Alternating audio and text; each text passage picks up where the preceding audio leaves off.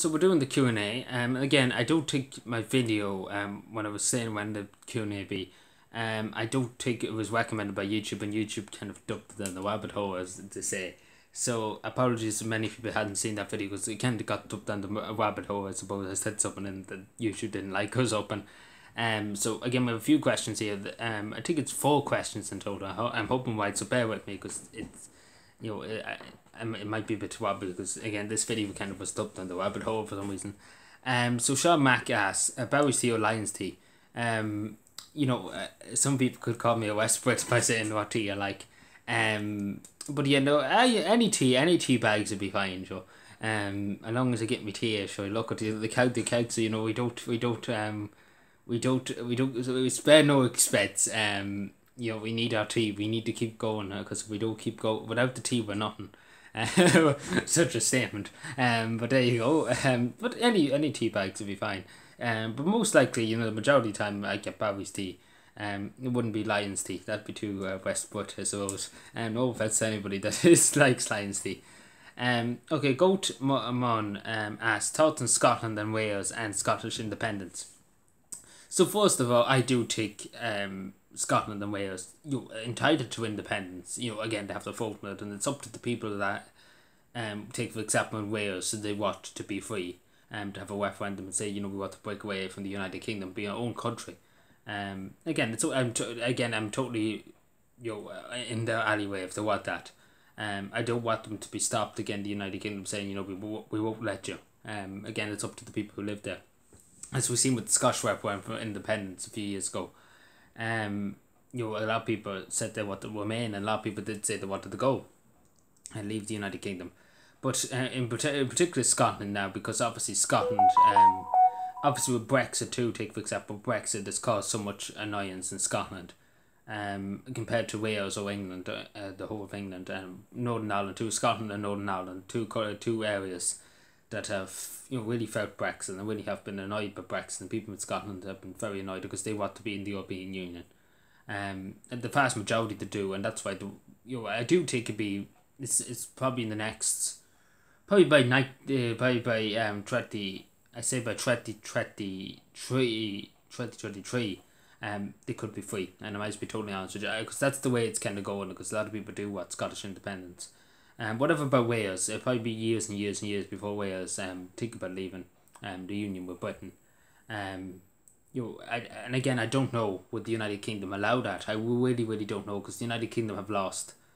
Again, if you know your colonial history, um, they used to rule over half the world. Now they have very little, only a few islands, um, along with the mainland UK. Um, very little compared to what they had. Um, and then obviously they only have the Commonwealth, which you know the Queen's the head of the Commonwealth um, but they don't have really any say in you know the Commonwealth. Um, Canada, New Zealand, um, all that they still independent countries. Queen's the figurehead really. Um, but yeah, I'm all for it. And again, that's a long, long statement there, but yeah, I just wanted to say that. I think there was another question um from YouTube. Again, just bear with me. Oh yeah, what's your favorite song? Yes, um, Maria and Domini. I hope I'm saying that right. The last name. Um, what's my favorite song? As I said, come back, Paddy Reilly to Ballyjamesduff. But any kind of Cavan song would be up my alleyway, I have to say, uh, what the young kid, young kids say. Um, and why? Why would it be my favourite song? Well, to be honest, I kind of was brought up, you know, with my father and hearing it on the radio, on the local radio, Northern Sound, you hear Come Back, Paddy Reilly, the Ballyjamesduff. Um, and it's a kind of symbol, it's kind of a song that represents Cavan, and you know, everybody always says, you know, did Paddy Reilly ever come back to Cavan when you mention Cavan? Oh, I do some people from Cavan say when you mention you're from Cavan, people say you're tight, who? Um, and I'd be like, oh no, I'm not. Um, but then again, I hide my wallet and me, and me I, I peel of my pocket and I'm away from Cavan. Um, um, but no, um, you know, that, that's kind of the reason why, because we heard it when I was growing up and it's good, good song, it's really, really good song and really shows Cavan um, really just in a put Ballyjamesduff on the map. That song a lot. That that's what put Ballyjamesduff on the map. Come back, Paddy Reilly to Ballyjamesduff, and the Dubliners singing it. Um, Luke Kelly singing it. Uh, Daniel O'Donnell singing it.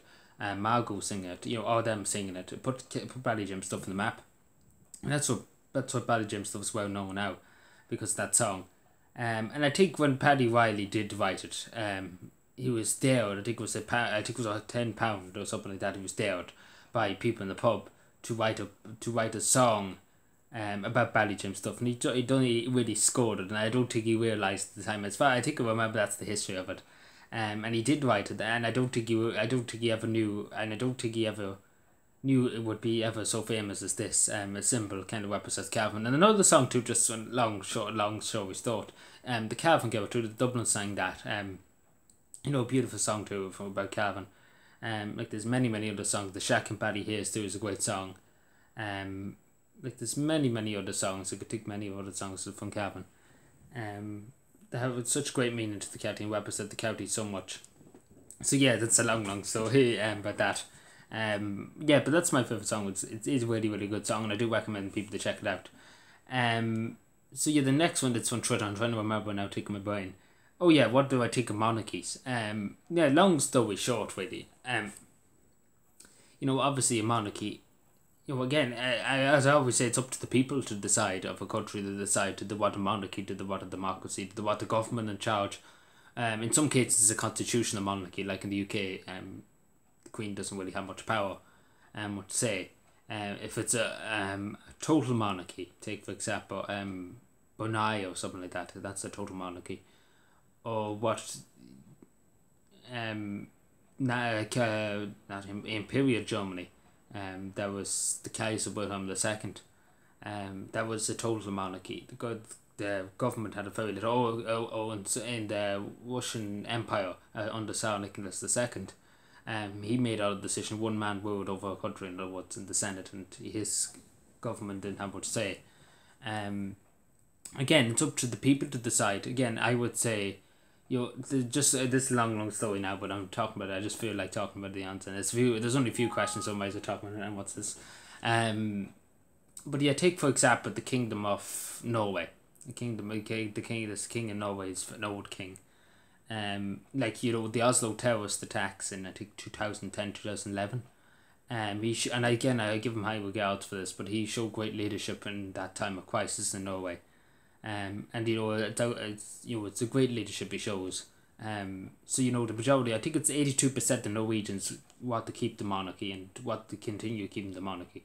Um, as far as I remember too, I remember watching the video. That Spain, take for example, Spain. Spain has a king. Um, people might not know that. I never knew that for a long, long time. But Spain does have a king, and King Ferdinand, I think it is. I'm not too sure, but um, his name but he, he is very well unliked. Um, I think it's eighty five percent of the country wanted abolished or something like that in the last poll. Uh, what the monarchy abolished, get rid of, got rid of adios out. Um. So you know. So that's you know again the people don't like the Spanish monarchy. Um, the people of Spain don't like the Spanish monarchy.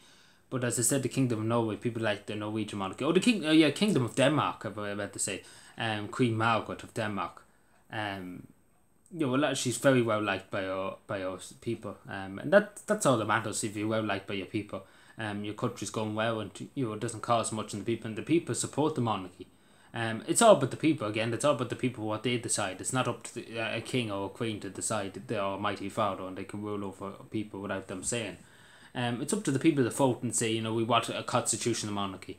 Um, majority of them are constitutional monarchy. No, and not many of them have much power. Um, but it's good for the people to decide, you know, I want a king to represent us or I want a queen.